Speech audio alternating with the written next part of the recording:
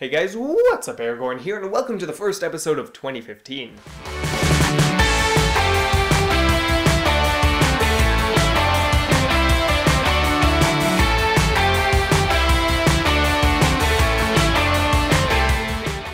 So, recently I put up this video, which was about graphics, and you guys seem to love it, so let's just dive into part 2 of this mini-series, shall we? Now today's topic is going to be about making money off of graphics, and actually, Mr. Power Syrup over here left a comment on the last video, specifically on this topic, which is great. I answered his comment, but I'd like to go into it a in a bit more detail right now. Uh, just because I have a form to. I also like syrup, by the way, because I'm Canadian, and you know, maple syrup. anyway, a lot of people expect when they start doing graphics, especially on YouTube, is that they'll start making loads of money and get tons of commissions right off the bat. And sadly, that's not always the case. In fact, it's barely ever the case. And that may seem like a sad thing to say, and a lot of people might not like that, but it's the truth. And why, you may ask?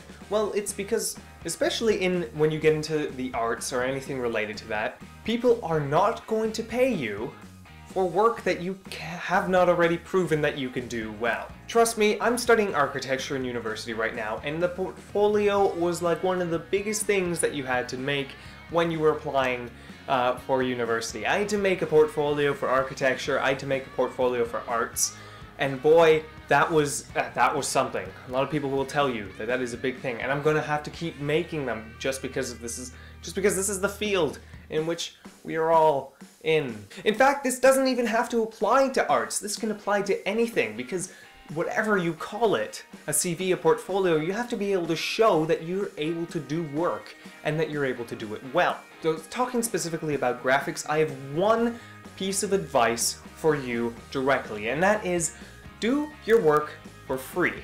At least at the beginning. Get a fan base going, get a lot of experience, start forming relationships with customers and with uh, brands or other other creators, and then move from there. Once you've got the grip, then you can pull yourself up over the ledge and then you could start making money. Specifically, I would recommend doing templates. It's a great way to reach a large audience. I would recommend working one-on-one -on -one with people. It's great to get experience working with a customer, and especially if you do it well, you can document the process, show just how well you work, with someone uh, on a custom job. If they love the way that you did your work, they'll recommend you to other people. And lastly, I recommend that you just do as much as you can, because experience is experience, okay? And if it's still comfortable to do, if this isn't like taking up a humongous amount of your time, I recommend just doing as much as you can, because it's experience. You'll learn from it. You'll gain friends, you'll gain relationships, business relationships and it's it's it's all very good. Once you've got a secure footing, once you've got experience, once people know who you are, then you can start charging. At least that's what I would recommend. It's not to say that you can't start charging right off the bat. A lot of people do. A lot a few people have success with it. A lot of people don't. It's up to you. This is my two cents on it and I hope you guys uh, found this tip helpful. Um, I know I know a lot of people, I know for a few of you this might not be exactly what you wanted to hear and I'm sorry.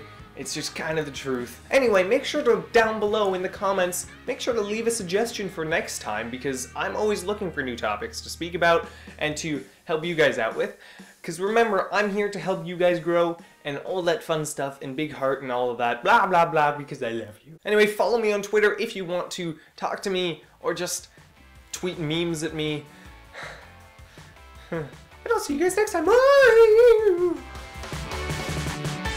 Click the links if you want to see more from Freedom, and if you want to see more of my ugly mug, just click right here.